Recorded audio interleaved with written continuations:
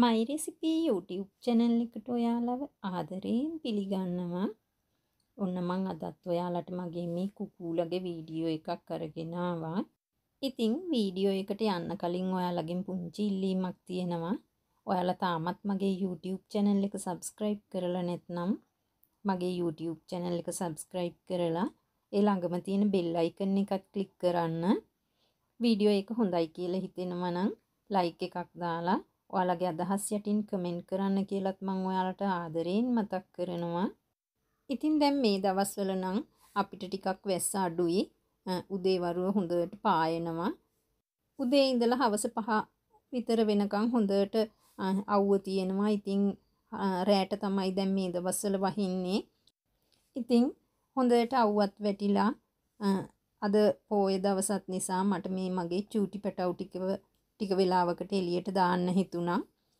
ඉතින් ලොකු කට්ටිය අරිනකොටම මම අද චූටි පැටව් ටිකත් එළියට ඇරලා දැම්මා. ඉතින් එයාලා හරි සතුටින් අද සෙල්ලම් කරනවා. මොකද කූඩුව ඇතුළෙම නිතරම හිර වෙලාමනේ ඉන්නේ. ඉතින් මම මේ ගොඩ දවසකින් තමයි මෙයාලව මේ එළියට දැම්මේ. පහුගිය දවස්වල නම් උදේ ඉඳන් වැස්ස නිසා එයාලව එළියට ගත්තෙම නැහැ. වැස්ස නැති වෙලාවල් බලලා ලොකු කට්ටිය විතරයි මං එළියට දාගන්නේ. මොකද වහින්න එනකොට ටක් ගාලා මට ලොකු කට්ටියව කූඩුවට දාගන්න පුළුවන්. ඒත් මේ චූටි පැටව් එක එක්කෙනා හුලන්න ඕනි. ඉතින් එයාලට තාම කූඩුවට එක්කගෙන එන්න පුරුදු නැහැ. ඉතින් ඒක නිසා මට වත්ත වටේ දුවන්න වෙනවා වහින වෙලාවට එයාලව අහුලන්න. ඉතින් ඒක නිසා මං වැස්ස දවස්වලට නම් චූටි පැටවුන් එළියට ගන්නෙ නැහැ. මාසයක් විතර එක දිගටම කූඩුවේ ඉඳලා ඉඳලා මෙයාලා මේ අද තමයි එළියට ආවේ. ඉතින් මෙයාලට හරිම සතුටුයි. මෙයාලා දැන් තව ටිකකින් වත්තටත් යනවා. ඉතින් මේ වෙලාවට මමත් ළඟ පාතම ඉන්න ඕනි. මොකද මෙයාලව දාලා යන්න බෑ. අහල පහල ගෙවල් වල පූසෝ ඉන්නවා. ඒ වගේම බල්ලෝ ඉන්නවා. මුගටියන්ගෙන් කරදර තියෙනවා. ඒ හින්දා ඉතින් මෙයාලත් එක්කම වගේ බලාගෙන ඉඳලම තමයි ටික වෙලාවකින් මෙයාලව කූඩුවට දාන්න ඕනි. ඒක නිසා ඉතින් මමත් මේ වත්තට ආවා ටිකක් වත්තත් අතු ගාලා දාන්න කියලා හිතාගෙන චූටි පැටවුන්ට අද මොකද කරන්න කියලා හිතාගන්න බැරි තරම් එයාලට අද ලොකු නිදහසක් ලැබිලා ඉතින් හරීම සතුටින් ඉන්නවා මේගොල්ලෝ. ඉතින් මගේ ලොකු කුකුලොන්ගෙනුත් මෙයාලට කිසිම කරදරයක් නැහැ. මෙයාලා අම්මා නම් චුට්ටක් සැර කරනවා පැට්ටුන්ට. මෙයාලා හය දෙනා ඉතින් එක අම්මෙක්ගේ පැටවුනුත් නෙමෙයිනේ. අම්මලා තුන් දෙනෙක්ගේ පැටවු තමයි මේ ඉන්නේ. ඉතින් දැනට නම් ගෝමරී විතරයි මේ පැට්ටු හය දෙනාවම බලාගන්නේ. ඉතින් අද මගේ පොඩ්ඩිත් තාම නම් කොහෙටවත් ගිහිල්ලා නැහැ. තාම ගම වටේ විස්තර ටික හොයන්න පොඩ්ඩි ගිහිල්ලා නැහැ. ඉතින් මෙයා මේ විදිහට ඉන්නවා දකින්නත් ආසයි.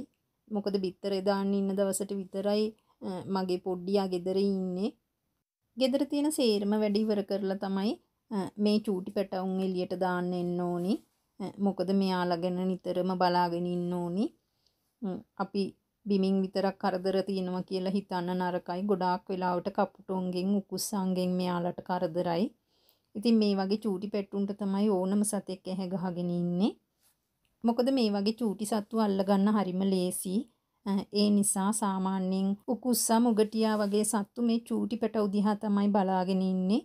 මොකද ටක් ගන්නකොට එයාලව අරගෙන යන්න ලේසි. ලොකු සතෙක්ව නම් අල්ලගන්න ටිකක් අමාරුයි. මොකද එයාලා බරයි. ඒ වගේම එයාලව අරන් යන්න ටිකක් අමාරුයි. ඒක නිසා චූටි පැට්ටුන් එළියට දැම්මහම අපි නිතරම බලාගෙන ඉන්න ඕනි. ඉතින් වත්තේ ඇවිදලා අහුලගෙන කාලා දැන් මෙයාලා මේ නිදහසේ ඉන්න වෙලාව නිදහසේ ඉන්නවා වගේම මේ වෙලාවේ හොඳට අවුවක් තියෙනවා. ඉතින් මෙයාලා මේ හරීම ආසයි මේ අවුවට වෙලා තටුරත් කරන්න.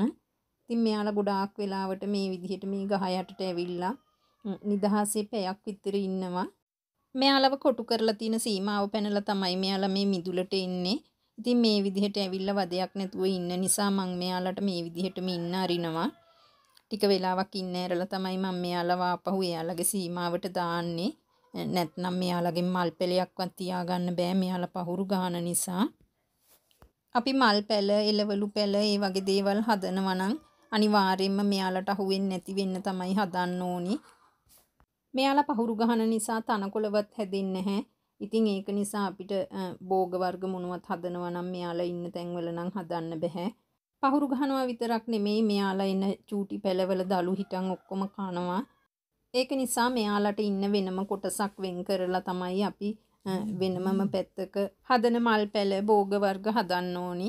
ඉතින් මේ බලන්න මගේ මේ ගීතානි හොඳට මේ වෙලාවේ අවුවට තටුරත් කරනවා. ඉතින් මෙයාලා හරිම ආසයි මේ විදිහට අවුවට වෙලා ගොඩාක් වෙලා ඉන්න. හොඳට බඩ පිරීලා තියෙනකොට නම් මෙයාලා කොහෙවත් යන්න දඟලන්නේ නැහැ. බලන්න දැන් මේ වෙලාවේදී නම් එයාලට අහල පහල ගෙවල් වලට යන්න හොඳටම අවස්ථාව තියෙනවා. ඉතින් මෙයාලා කූඩුවෙන් ඇරපු ගමන් වගේ තමයි මේ තැන් තැන් වල යන්න දඟලන්නේ.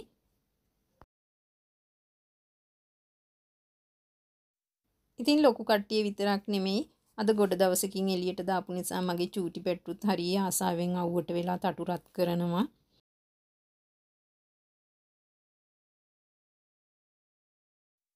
ඉතින් මට මගේ සත්තු ටික චූටි පැටව් ටික එළියට දාපු හැම දවසකම තියෙන කරදරයක් තමයි මේ. ඉතින් මම මගේ චූටි පැටව් ටික එළියට දාන හැම දවසකම මේ මුගටිරාලගෙන් පුදුම කරදරයක් තියෙන්නේ. ඉව තියෙනවද දන්නෙත් නැහැ. හැමදාම චූටි පැටව් ටික එළියට දාපු ගමන් මෙයා එනවා වත්තට. ඉතින් මේ බලන්න මගේ මේ චූටි මෙනිකෙයි පොඩ්ඩි දෙන්නව අහුවෙන්න නම් තව චුට්ටයි තියෙන්නේ.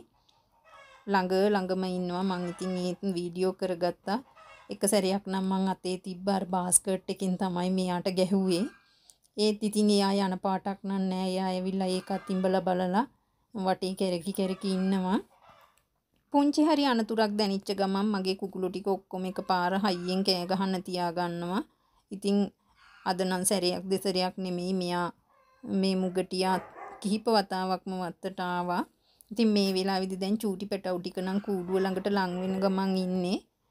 මමත් ළඟපාතම ඉන්න හින්දා මම බලාගෙන ඉන්නේ. වත්ත කෙරවලේ තියෙන ඇල පැත්තෙන් වත්තට ඇතුල් වෙන්න ගොඩාක් ලේසි මේ වගේ සත්තුන්ට. ඉතින් මෙයාලා ඒ පැත්තෙන් තමයි මේ ගොඩාක්ම මේ වත්තට එන්නේ. පුංචි පැටවුන් මෙයාගෙන් ආරක්ෂා කරගන්න එක තමයි ලොකුම වගකීම. මොකද මෙයා ටක් ගන්නකොට අරන් යනවා හිපිල්ලමක් ගහන පමාවෙන්. ඉතින් ඒක නිසා තමයි මන් දැන් මගේ චූටි පැටවුන් එළියට දාන්නෙම නැත්තේ. මන් ළඟ ඉන්නව නම් විතරයි මගේ චූටි පැටවු ටික එළියට දාලා බලාගන්නේ. මුගටිය වත්තට ආපු ගමන් ලොකු කට්ටිය ටික ඔක්කොම එකපාර කෑ ගහන්න තියාගන්නවා. ඉතින් මගේ ගෝමරී පැටවු ටික එක්කගෙන කූඩුව ළඟටම දැන් ඔන්න ඇවිල්ලා ඉන්නේ. මන් දැන් මෙහිම්මම මෙයාලා ටික කූඩුවට දාලා වහනවා නැත්නම් අද දවසම මේ මුගටියාගෙන් වදේ තියෙනවා. මොනව නැතත් මගේ බ්‍රවුනි නම් හැබැයි කුකුළු ටික හයියෙන් කෑ ගහන්න පටන් ගන්නකොටම වත්තට එනවා. දැනුත් මේ මුගටිය ආපු බව දැනගෙන තමයි මෙයා මේ වත්තට ඇවිල්ලා කුකුළු ටික දිහා බලාගෙන ඉන්නේ. එක දවසක් නම් මෙයා මුගටියෙක්ව තුවාල වෙනකම්ම ඇල්ලුවා. ඒත් ඉතින් මේ විදිහටම වත්තට ඇවිල්ලා තමයි.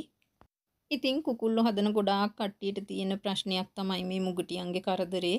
ඉතින් එයාලට මොනවා කරන්නද කියලා තේරෙන්නේ නැහැ. මට නම් ඒ සතුන්ට කරදරයක් කරන්න හිතෙන්නෙත් නෑ. ඉතින් මං එන වෙලාව බලලා ඉතින් එයාලව වත්තින් පිටට පන්නනවා. ඒක තමයි ඉතින් මට කරන්න පුළුවන් හරිය. ඉතින් මේ වෙලාවේදී මං ඔයාලට නැවතත් ආදරයෙන් මතක් කරන්නේ ඔයාලා තාමත් මගේ YouTube channel එක subscribe කරලා නැත්නම් මගේ YouTube channel එක subscribe කරලා එකතු වෙන්න. වීඩියෝ එක හොඳයි කියලා හිතෙනවා නම් like එකක් දාලා යාළුවන්ට බලන්න share කරන්නත් අමතක කරන්න එපා. ඉතින් එහෙනම් අපි මේ වගේම වීඩියෝ එකකින් නැවත හමු වෙමු.